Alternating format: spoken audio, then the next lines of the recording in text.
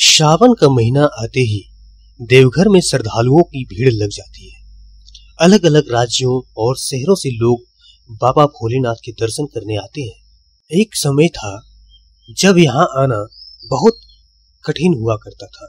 जंगल, पहाड़, पथरीले रास्ते को पार करके कई दिन की कठिन यात्रा के बाद भक्त यहाँ पहुँच पाते थे।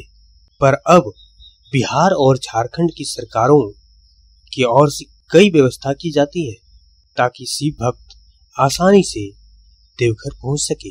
बैजनाथ धाम जाने के लिए हवाई, रेल और सड़क तीनों मार्ग है।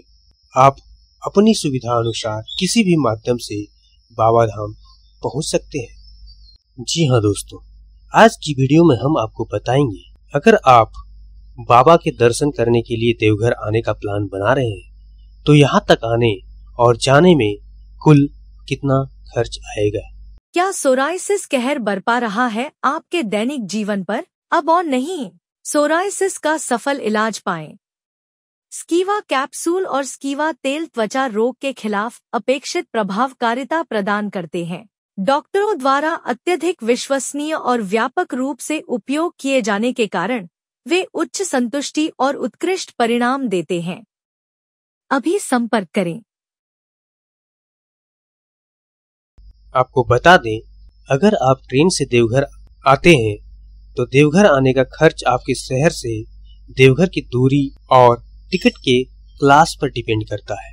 इसलिए हम आपको कुछ प्रमुख शहरों से देवघर आने वाली रेलगाड़ी के किराए के बारे में सबसे सस्ता, सबसे पहले बताते हैं। अगर आप रांची से देवघर आते हैं तो आपको इंटरसिटी एक्सप्रेस और दुमका इंटरसिटी एक्सप्रेस ट्रेन से आना होगा। इंटरसिटी एक्सप्रेस का स्लीपर क्लास दो सौ पंद्रह रुपए थ्री एसी कोच पाँच सौ पचहत्तर रुपए, जबकि टू एसी कोच आठ सौ पंद्रह रुपए और फ़र्स्ट एसी कोच तेरह सौ पचास रुपए। वहीं दुमका इंटरसिटी एक्सप्रेस में सेकेंड क्लास एक सौ तीस रुपए चेयर कार चार सौ पैतालीस रुपए लगेंगे। अगर आप भागलपुर से देवघर आते हैं तो आपको अगरतला देवघर एक्सप्रेस, जिसमें स्लीपर क्लास एक सौ रूपए और थ्री एसी कोच पाँच सौ पचास रूपए लगेंगे। और अगर आप पटना शहर के रहने वाले हैं तो पटना से देवघर के लिए कोई डायरेक्ट ट्रेन उपलब्ध नहीं है।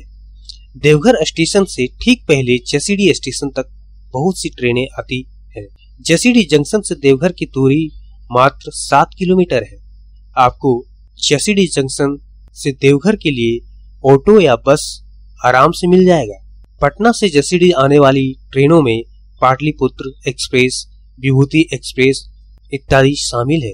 आपको बता दें, पाटलिपुत्र एक्सप्रेस में स्लीपर क्लास एक सौ सत्तर रूपए, वही थ्री एसी कोच पाँच सौ पाँच रूपए, जबकि विभूति एक्सप्रेस में स्लीपर क्लास दो सौ रूपए, थ्री एसी कोच पाँच सौ पचपन रूपए, टू एसी कोच सात सौ साठ रूपए है। यदि आप दिल्ली से देवघर आने का प्लान कर रहे हैं तो यहाँ भी आपको कोई डायरेक्ट ट्रेन उपलब्ध नहीं है। आप दिल्ली से Jasidih junction Baba Baidyanath Dham, Deoghar Humsafar express से आ सकते हैं। इस ट्रेन से आने पर स्लीपर क्लास के लिए छह सौ पचपन रूपए थ्री ई कोच के लिए सोलह सौ दस रूपए और थ्री एसी कोच के लिए सत्रह सौ बीस रूपए का टिकट कटाना होगा। ट्रेन के अलावा सड़क मार्ग से देवघर आने का सबसे बड़ा माध्यम बस है। आपके शहर या राज्य से सरकारी या निजी बस देवघर के लिए मिल जाएँगी। अगर आप रांची और पटना से देवघर आते हैं तो बस से जाने का किराया लगभग चार सौ रुपए से हज़ार रुपए तक है। इसमें एसी और नॉन एसी बसें भी शामिल है। स्लीपर और नॉन स्लीपर दोनों बसें देवघर तक चलती है। लगभग इतना ही किराया पटना से देवघर का भी है। हालाँकि देवघर के लिए सरकारी बसें भी उपलब्ध है और इसका किराया भी आपके शहर से देवघर की दूरी पर निर्भर करता है। वहीं अगर आप हवाई मार्ग के माध्यम से देवघर आते हैं तो बता दें, रांची से देवघर के लिए इंडिगो की नॉन स्टॉप फ़्लाइट है।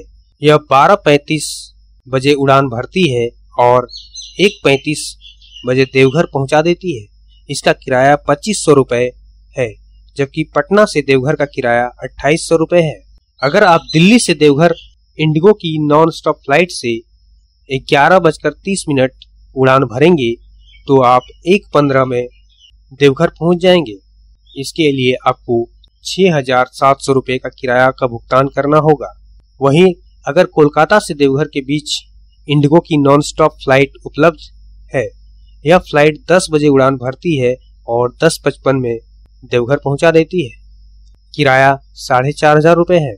अगर देवघर शहर में आसपास जाने की किराया की बात करें तो यहाँ देवघर से जसीडी तक बीस रुपए, रोहिणी तक बीस रुपए, देवघर से रिखिया तक बीस रुपए, कोठिया मोड़ बीस रुपए, देवघर से दर्दमरा पच्चीस रुपए, जबकि देवघर से तपोवन पच्चीस रुपए और देवघर से बलिया चौक तक पच्चीस रुपए, देवघर से चोपा मोड़ तक पच्चीस रुपए, देवघर से देवीपुर तक तीस रुपए।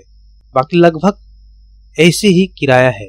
इन सब के अलावा देवघर में रहने और खाने को लेकर भी आपको कोई दिक्कत नहीं होगी। प्रशासन द्वारा ज़िले में श्रद्धालुओं के लिए ठहरने की व्यवस्था की है। साथ ही मात्र चालीस रुपए में भरपेट भोजन की व्यवस्था की जाती है। यह पूरी तरह से सात्विक भोजन होता है। तो उम्मीद करता हूँ दोस्तों, आपको यह जानकारी अच्छी लगी होगी। तो वीडियो को लाइक और शेयर ज़रूर करें।